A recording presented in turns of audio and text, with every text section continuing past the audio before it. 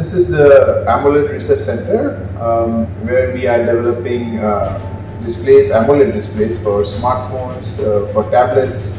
uh, for smartwatches and also next generation displays uh, which are made uh, in uh, not the state of the art but in, a, in a different way which will allow um, companies, Indian companies as well as foreign manufacturers to start a new method to produce this displays. Um, uh, we want to move on uh, towards a technique which could be uh, modular, which means that we move away from something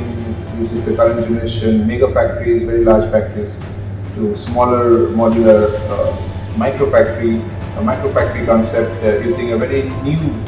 technology which we are developing here in IIT Madras. Um, this place, uh, like I said, could be used in uh, many different applications.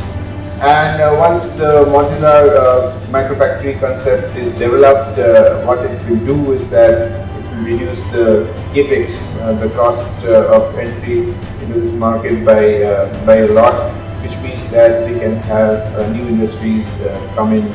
to this manufacturing